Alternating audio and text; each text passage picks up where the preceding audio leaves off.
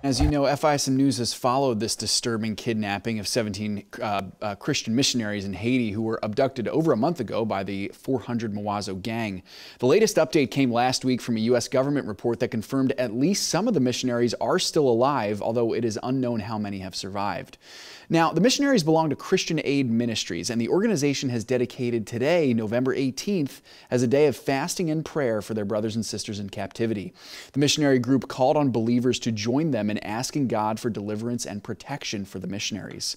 On numerous occasions, the ministry has asked not only for prayer for the kidnapped believers, but also for their kidnappers themselves, that these wicked criminals would repent and believe on the name of the Lord Jesus Christ. It's very impressive.